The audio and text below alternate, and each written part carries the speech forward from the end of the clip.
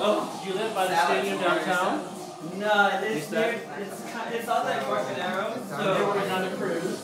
Yeah, it's right there, I can see that Yeah, here yeah, yeah. every day, dude. Yeah. It's right there. Yeah. So yeah, no, it's really good. I like that area, the weather has been amazing. Yeah, I think it's actually gonna supposedly a rougher winter than usual. So if you like this here,